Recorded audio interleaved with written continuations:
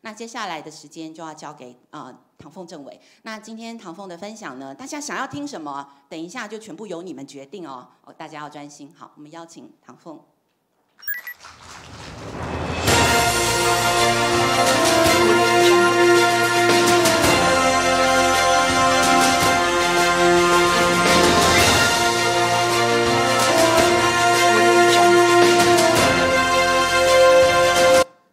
好，非常高兴能够来这边啊。那我们来先试试看 QR code 这个科技到底能不能够扫得到啊？那如果扫不到的话，就要清唱了啊。好，有 QR code 太好了。那如果扫到 QR code 的话，麻烦扫 QR code；如果扫不到或者是用呃电脑的话，麻烦进入 Slido.com，然后输入零零七三一啊，井号不用输入。那不管是扫 QR code 还是用电脑的，就是网址，都可以进入这样一个匿名的聊天室，在接下来三呃二十二十一分钟里面。呃就是以大家想要听什么，就直接在上面提出。那提出来的问题呢，如果你呃看到别人的问题，你也想要问的话，你就按赞就可以了。按赞的数量越高的，越会跑到上面去。那但是因为也只有二十分钟的关系，所以大概没有办法所有的问题都回答到。不过没有关系，因为还有一整天的论坛嘛。那所以我们在这个接下来的时候，我看到每一个 panel 也都是用 Slido，那就是等于是大家先习惯一下这个 Slido 的一个教学模式。这个我们在呃就是。远距教育上是非常好用的，因为远距你不是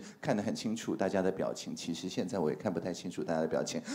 这样子的情况下，那 举手啊什么，这个大概都比较看不到。那但是 Slido 的话，就可以在我这个一面用麦克风的时候，大家一面集思广益哦，想出说，哎，这个课堂的朋友们想要听些什么？这个也是我们自发互动共好里面自发的精神嘛，就是说老师要教什么是由大家的工作所决定。那互动呢？因为我们知道在互动这个素养里面，最大的一个障碍就是在。课课堂上面手机的使用哦，就是说，当学生开始划手机的时候，大概就不是很想跟旁边的人互动了。那我们的做法就是一开始就透过 QR code 把学生的手机征收过来，变成我们教室教材的一部分。所以是呃，学生还是可以满足他们按赞的冲动，以及是留言的冲动啊。那但是这个按赞跟留言是直接进入课堂里面，变成教材教法的一部分，达到所谓的共好，而不是他自己一个人在 D 卡还是什么上面好啊。所以 OK，那我并没有针对 D 卡。的意思，OK，好，那所以呃，大家已经开始问问题了，我们就直接开始吧。有十位朋友们想要问说，哎，自学对我的影响是什么？非常好的一个问题。呃，我是呃刚刚讲到这个维基百科上最高的学历是直潭国小，确实我在直潭国小念了六年级，但是我也在万兴国小念六年级哦，我念了两次六年级，直潭是四跳六啊。那除此之外，也在这个另外的呃四所小学，我六年六念了六所小学。那这六所小学各自念了一年，有个好处就是不用做暑假作业，因为反正 就是都转学了嘛。那那这样子的好处对我的主要一个影响啊，就是说我从一开始就了解到说，学习本来就是跨文化啊、跨领域，然后跨世代的一件事情。因为我自己呃在当时就是决定要自学的时候，当然非常感谢诶，应该是当时的局长嘛，以前也在这边，然后我们杜慧平校长、北镇国中校长，呃，他们是也是甘冒这个风险啊，就是在强迫入学条例还生效的情况下，就告诉我说，呃，那我明天可以不用来学校，我可以自。己在网络上面学习，那当然因为公务人员登载不实罪是有一个追溯期的，现在已经过了，所以也没有，也也没有也没有什么问题啊，没有人会因为我这样讲而坐牢。那所以我我我要说的就是说，第一个，他让我对公务体系的创新有一个非常强的乐观的感觉。到现在我在行政院服务的时候，我还常常想到杜慧平校长，或者是呃这个潘潘文忠老师或者局长 等等啊，就是在体制里面愿意给大家一个空间，然后让这个。空间，呃，引导出大家看到体制一个不同的一个地方。所以第一个就是说，公部门不一定是呃我们的敌人，公部门可以是我们的伙伴。尤其是像我现在也负责社会企业相关的一个事情。那社会企业大家都知道是社会的力量跟经济部门的力量这两个部门加以结合。那这两个部门如果结合之后剩什么呢？剩公部门嘛。那所以常常社会企业朋友就觉得哦，他要倡议，然后公部门都是挡我们的路嘛。那但是现在我们在公部门的时候就可以采取一个全力支持，但是绝不主导的这样子一个做法。那这八个字还是太长了，所以想要缩成四个字，就是你行你来哦。那这个你行你来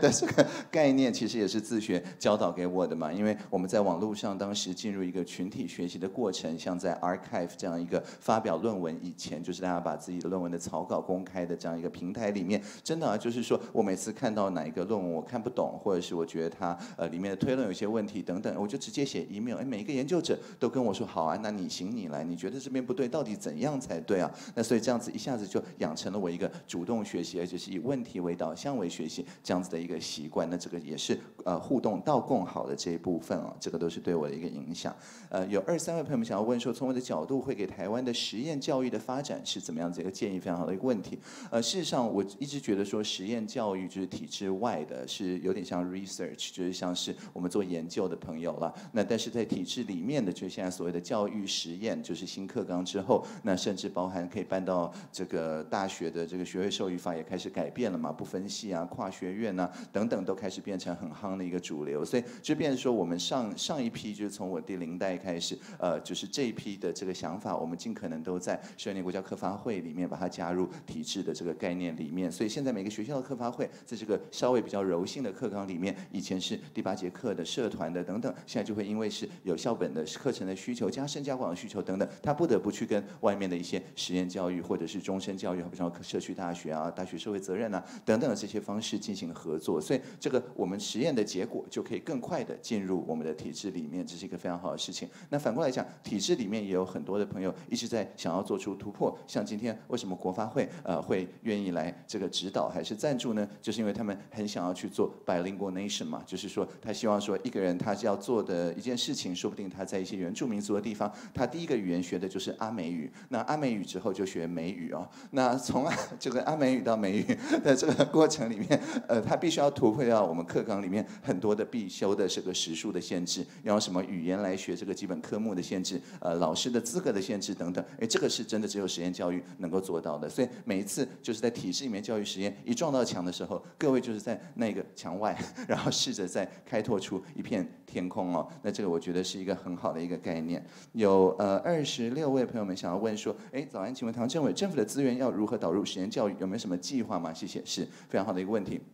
当然，我们知道实验教育有各种不同的形态嘛，就是说，呃，就是个人的形态、家庭里面的形态、团体的形态、机构的形态等等。那我一直觉得是说，我们因为现在的不管是体制外的实验教育啊，也是要适性扬才、自发互动共好、终身学习；我们在体制内也是适性扬才、自发互动共好、终身学习。说真的，没有什么差别。那所以应该是说，我们有相同的目标，只是说我们的取径不同。所以我常常就是告诉呃，因为我也负责就是社会创新行动方案里面大学社会责任的部分，呃，You Start 就是在一面上大学一面创业的部分啊，等等这些部分，我经常就是鼓励他们说，你就把你的这个机构当做一个资源，任何的自学者，不管他的年龄，不管他是呃，就是可能八九十岁啊，然后经营一个洗衣店啊，然后想要学怎么用 Instagram 啊，等等的这些，就怎么当 model 啊之类的，就说不管他的这个年纪怎么样了，或者是说他更在意的事情是什么，那你就把自己当做一个资源嘛，去提供出来，用一个共学的一个方式，把自己本来的做的这个事情啊等等，变成在线上大家都可以看的一些资源，这是 MOOC 的部分。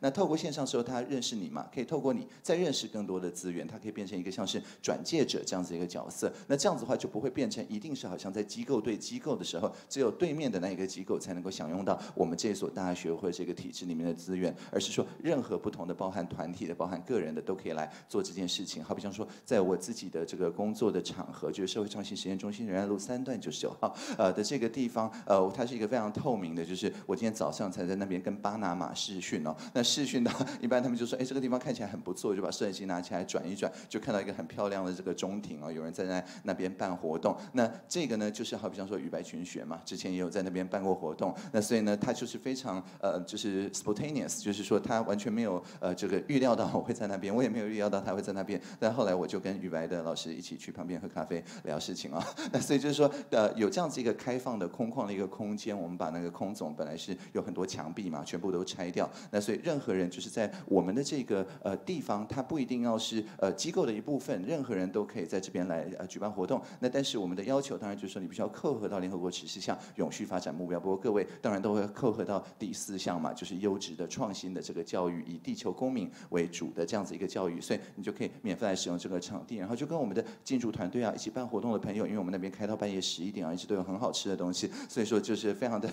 spontaneous 的这个自发的啊，就可以去形成新的结盟这个关系。所以我大概的想法就是，我们提供场域，我们提供资源，但是我们绝对不会反过来主导说啊，好像各位实验计划主持人要把自己的工作这个带领带领到什么方向，应该是各位来带领我们。所谓你行你来嘛。有二十四位朋友们说，哎，有对现在的教育现场有没有什么看法以及什么样子的建议啊？那我自己就是，其实这个是呃有那个呃，如果大家有这本这个《亲子天下实验教育专刊》的话，第六十二到六十四页啊，就是在讲这件事情，所以我就不在这边背书了啊。但但是呃，就是基本的想法，大概就是六十四页里面所提到，就是做一个全球的公民嘛。刚刚提到的跨领域、跨时代、跨文化的协同合作，那不管是在传统的教育里面那种分门别类，就是刚刚潘部长讲的，就是呃硬要把各种不同的学生塞进同一个模子里面的这样子的情况，或者是说好像说我呃学习完完成我的学程之后，我就跟学校没有关系，我就出社会了。这两个最基本的这个概念，我们现在大概都可以呃就是把它松动，或甚至把它打破。那但是当然现在教育现场的老师确实是需要一段就是共同备课啊、观课啊等等这样的方法，慢慢适应这样子一种终身学习一种方法。不过当你这样子比较适应之后，你就会发现说你的工作是比较有成就感的，因为每一届的学生啊，每一个不同的课发会的整个组成啊，或者说学校课发会的组成啊，都可以就是给你自己也有很多终身学习的一个可能性。所以我觉得长期来看，时间是站在我们这一边了，就是说我们慢慢就会累积提出这样子一个更好的一个做法啊。而七位朋友们想要问说，请问自学遇到的最大的困难以及最大的突破是什么？非常好一个问题。在我接触到那个就是刚刚讲 archive，就是呃在全世界大家把 paper 呃就是 PO 上去的那样子一个社团之前呢，呃其实我最大的一个困难就是我觉得我关怀的事情是非常冷门的，好比方说我之前就是在十四五岁就是跟杜慧萍校长说我要在家这个上学的时候，呃其实我关心的一件事情是为什么大家在网络上面能够对于完全不相识的陌生人，只是透过几个简单的关键字就可以开始一起上万人做出共同创作，那但是我们。在面对面的时候呢，却必须要是经过很多的这个长期的社会关系啊、社会仪式啊，才能够进入这样子彼此共通的关系。那这叫 Swift Trust 嘛？为什么 Swift Trust 的形成？那这个是我当时的研究题目。当时连这个学门都没有啊，就是说，不管是你把它叫做资讯社会学，还还是把它叫做什么游戏化的理论，还是叫什么呃之类之类的这些，在当时连连这些词都还没有，都还才刚刚产生。当然，Hashtag 那个字当时也是没有的啊。那所以这样这样子的话，我如果要要去往这个方向去做学校，我常常会觉得说非常的孤独，因为没有任何人感觉上 的跟我呃就是想一样的事情，或者是说关注一样的事情。那这个是我想一开始大家都会碰到一个挑战。那但是好在就是说，哎，碰到了 Archive 这样一个社群，碰到了呃之后的自由软体社群啊、开放源码社群啊等等，就会发现说，即使我关心的只是呃万分之一的人关心的这种呃题目啊，那其实在全台湾也有两千三百个人在关心了，全世界的话更是数以万计的人在关心啊。之前所缺的。只是说有一个线上这样子一个。社群的一个平台啊，把能够呃大家的创造这个汇聚在一起，而且并且有这个及时的双向的一个沟通的可能性。所以在那个之后，我就一直很相信说，如果有一个线上的平台，它的目的不是要把大家关在线上，而是透过线上的集思广益，让大家知道对这个关怀的人到底有哪些，有多少人。好，比方这个题目只有三十一个人关怀啊，那这样子的情况下，大家就可以有所谓的 social object，就是大家可以绕着这些大家都觉得是重要的事情来进行讨论。所以我们终于这个在最后剩八分钟的时候。终于讲到 SDG 了，不要完全跑题啊！有二十二位朋友说。这个，请问一下，这个 SDGs 就是呃联合国永续发展目标，到底可以为教育做出怎么样子的改变啊？那呃，相信大家都已经这个非常熟悉 SDG 是什么了，所以我就呃不特别去背出一百六十九个 SDG 的永续发展目标。不过这是我常常去呃就是展示的一张这个文示图啊。那 简单来讲，就是传统上面我们会觉得说，哎，经济部门就是拼经济嘛，就是要有可负担永续能源啊，良好工作，经济成长。那这个环团呢，就是帮忙去保护我们的下一代的环境。嘛气候变迁啊，陆域海洋生态洁净的水资源。那我们这个社会倡议者呢，大概就是去确保说，哎，我们要有优质的教育，各位的工作啊，消灭不平等、性别平权、终结贫穷等等啊。那但是呢，在以前呢，这个是不免有一点各做各的，而且呢，大家用的这个语汇都不一样，一边是讲 GDP，讲 ROI，讲什么东西，那另外一边是讲这个 SRS 啊等等啊，另外一边是可能讲碳排放啊之类。就是说，我们并没有一个很简单的量化的一个方式，能够把这些平常比较直化或者在每个领域里面量化，但是不可共量的这些东西，呃，去呃彼此转移，然后达到一个共同的目标。所以在二零一五年的时候，联合国的所有的会员国，不包含我们，就一起去制定了二这个就是二零三零年大家要达到这个永续发展目标。所以台湾之于联合国永续发展目标的关系，也就像各位实验教育的这个伙伴之于体制教育的关系啊。简单，对对对对，简单来讲就是说从边陲到主流了，从边陲到主流。那所以这个是是叫什么？这个呃，像极了台湾嘛，对不对？国家也一样。那简单来讲，我们因为不在联合国体系里面，所以我们在发展联合国永续发展目标的时候，不用先问过布鲁塞尔，不用先问过日内瓦，不用先问过纽约，我们爱怎样就怎样。然后，所以在我们的这个自愿揭露的这个永续发展目标的国家报告里面，我们甚至可以加个第十八项进去哦，等等，那个这都无所谓，反正体制外嘛。那但是 这样子。对，就是就跟这个各位不受课刚的这个约束是一样的道理。哎，但是我们在解决问题的时候，我们如果是用这十七个人去发目标来编号的话，对我们自己是真的有个很大的好处，因为大家可以去花很多时间去做这里面的任何一项，但是又可以看到这一项跟其他项目中间的综合效果。好比像说，如果你同时要照顾环境跟发展经济，哎，那就应该要发展呃循环经济啊，就是零废弃、零碳、零碳排、全循环的经济嘛。又或者是说，哎，我们在发展所谓的智慧城市的时候，可不可以去想说？其实，呃，智慧城市里面有更有智慧的市民啊，那这里面就是所谓的永续城乡等等。那所以在这个中间，当然是我自己在行政院的工作啊，就是促促进目标实践的伙伴关系。那这个呢，以前很抽象，现在因为有量化指标嘛，所以第十七项里面也有很多的量化指标。好比像说第十七点十八，就是说各个部门里面多呃清楚的去用可共量的方式，去把自己所呃 measure 到的这些资料啊，能够公布起来。好比像说这个亲子天下。透过这个大调查问卷的方方式，就让大家看到说，哎，这个接受过实验教育的学生，很绝大部分嘛，九成多都想要这个，就是如果当初这个时光重来机再来选一次的话，那他们还是愿意呃进行实验教育。那但是在这里面也有很多就是可以让其他的就是惯性教育不是国民教育可以参考的这个 这个具体的一个一个可以分享的地方。这个就是十七点十七嘛，就是有效的伙伴关系，就是我自己就是可以拼一块拼图，但是我不足的地方，哎，我也非常明确的。揭露出来，所以并没有什么失败可言呢。因为呃，就像爱迪生说的嘛，他并不是失败了那么多次，是呃很成功的找到这么多种材料不能用啊。那然后 那十七点六 就是所谓的开放式的创新，因为。像我们在解决我们自己的永续发展目标问题的时候，在各国，包含今天早上巴拿马啊，之前瑞典啊，我现在每天大概都要试训个这个四五次啊，然后就是一大早都是跟这个美洲嘛，然后中间就是跟亚洲嘛，傍晚的时候是跟非洲跟欧洲嘛，我不断的在强调说，我们只要想到一点点事情，哪怕是一个非常简单的概念，好比方说戴口罩是保护自己免于自己没有用肥皂洗的双手碰到自己的脸的的这样子一个非常非常简单的概念，它事实上就是一个迷因。嘛，就是说，呃，但这个民音是也也也是非常有用啊，因为这个民音我们这个有非常多梗图，他们这个梗图稍微改一下就可以去用啊，对不对？就是说，防疫期间严禁吃手手啊，然后这个 肥皂勤洗手啊，保持这个两只狗三只狗的距离啊，这个卫福部的总裁嘛，那这个是 universal language，就是说我们在做到 SDG 三的时候的这些开放式创新，我们都完全抛弃掉这个什么著作财产权、专利权什么，在任何地方，即使非洲，他们用南非国宝茶都可以做出。出珍珠奶茶来，我们绝对不会告他们哦，也不会要他们割让一个港口什么的。所以我们的意思就是说，呃，在这个过程里面，我们就是一直有一个台湾就是开放式创新的这样子一个概念。大家想到台湾就想到不受联合国的规矩所限呃限制的那种创新，然后而且就是我们 创新之后都非常的这个不利于分享。那大家要混搭台湾这边所做的所谓的台湾 model，我们一向都是非常非常愿意的。那我想这个是呃台湾在 SDG 里面对内可以给。我们一个共同的语汇，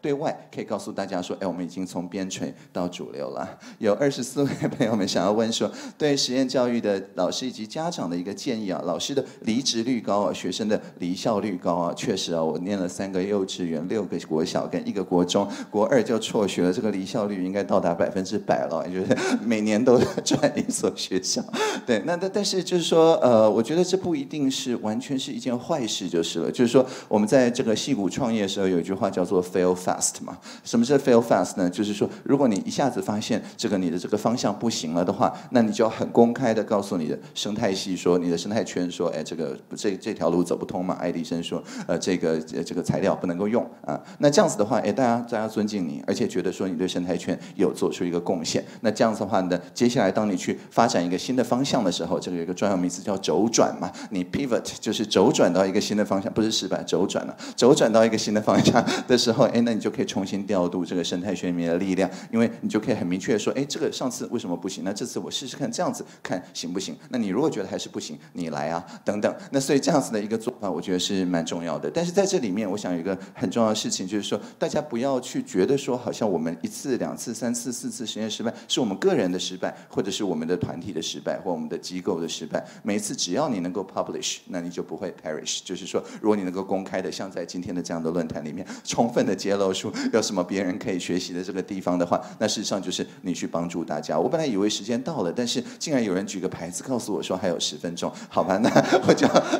我就充分的运用这十分钟好了。OK 啊，非常感谢这个临时加长时间啊。OK 好，那呃有十八位朋友们想要问说，哎，患有注意力不足症候群的小孩啊，适合哪种实验教育哦？呃，事实上我我自己这个在小的时候，如果大家有有看过这个《这场战争》等等书的话，会知道说里面也有一些呃看起来其实蛮像过动啊，蛮像注意力不足症候群的一些这个真相。那但是事实上呃，我并不是真正的这个 ADD 或 ADHD，只是说我关心的东西太多了，然后以及这个太复杂了，以至于说这个人类的注意力有一点不够用。那所以对，就是说，就我并不是 clinically ADD 或者 ADHD，而是说，如果你的脑里想要放一个非常大的结构的话，那人类的注意力是有限的，你一次只能想七加减二件事情嘛。那在这样的过程里面，当然就是手帕、卫生纸什么东西，大概就不会记得了啊。那但是如果我不是正在专心的解一个题目的时候，手帕、卫生纸我是记得带的。所以意思就是说我并不是 clinically ADHD。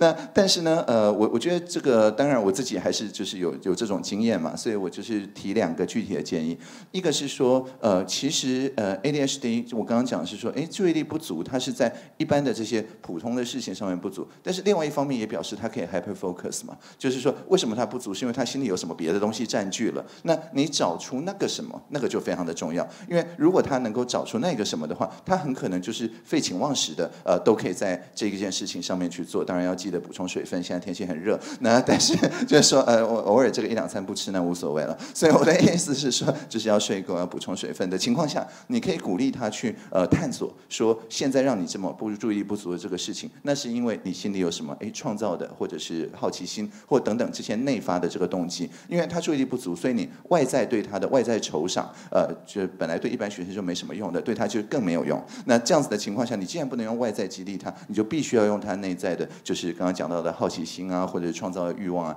等等这些来激励他。那等他找到之后，你就可以把他带到一个相当好的这个方向。所以自发互动共好，在跟他讲互动跟共好之前，这个自发就必须要非常明确的确立，不然的话根本没有什么互动或者共好的这个空间可言。这是第一件事情。那第二件事情。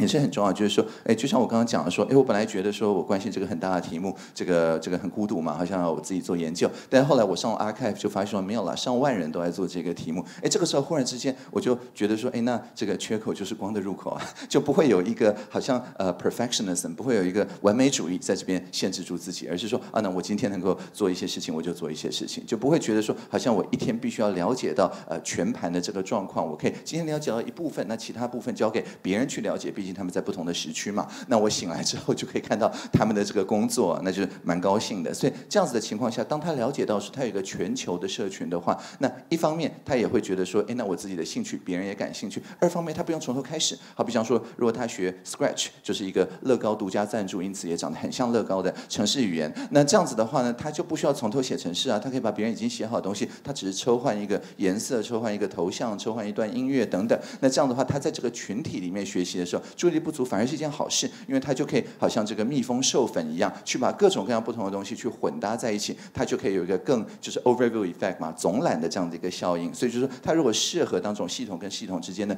衔接者的话，说不定是鼓励他做这件事情。但这个有一个前提，就是他必须要加入一个够大的全球性的一个社群哦。有二十位朋友们想要问说，自学的小孩日后进入体制有没有哪些挑战？不是资富优异的小孩是不是也适合？其实我刚刚在讲的就是说，呃，每个人心里都有自己自。的那一个题目嘛，在那个题目上面你是自负有益的。那但是有一些别的题目上面，因为你对别的题目这个呃没有很感兴趣，所以那些别的题目上面看起来就没有多少自负有益的这个感觉。那事实上任何人都是这样，我也是这样子嘛。所以在这样的情况下，是是不是自负有益的小孩的这个概念，我觉得我们是必须要把它松动，甚至是打破掉哦。就是说每一个人都是自负有益的，但是只是有些人他找到他在哪些自负上面呃是有益的，有些人他正在找寻。哪些支付上面是优异的，但是并没有什么先来后到，这并不是竞争嘛？因为每个支付每一个跑道是不一样的。但是你一旦找到那个目标，最好是永续发展目标，因为对全人类有好处。但是即使没有也没有关系啊，你可以加第十八项、第十九项什么的。那所以在这个过程里面，你只要往那个方向跑，你就赢在起跑点上嘛，因为没有人跑那个方向。那所以这样子的情况下，你在你自己的那个跑道上面，永远都是自负优异哦，这是一件事情。那所以就是说，然后自学好日后进入体制，当然对体制。是会产生很大的挑战啊，就是说体制就必须要去呃这个修改，去说这个不分系嘛，那怎么样子用不要用系所去限制小孩，那不分特定的大学，在大学系统里面可以交叉的修课，或者是说不去分特定的学院，你可以在这边选一个学程出去做一些呃就是实作，实作之后再回来，你的实作又可以当你的硕士学位用，这些都是学位授予法本来就已经有的空间，但是如果没有一批学生想要用的空间的话，我想大学大概也没有什么改革的这个动力了，所以说我们非常欢迎自学小孩日后进入体制，对体制提出挑战啊！那我们有二十二位朋友们想要知道说，自学需要更多的自主学习方法以及能力的培养，到底要怎么样学会学习的方法？非常好的一个问题。那 简单来讲，就是呃，跟问题相处。那个最近有这个一位这个有忧郁症的朋友们问问我说，这个人生的意义是什么嘛？那我就说啊，人生的意义就是你跟迷惘相处，你跟迷惘相处。尽量久的时间去面对迷惘啊，把迷惘邀进来啊，好像一个客人一样啊，等等。那这样子的情况下，他就达到了他人生的意义嘛，因为他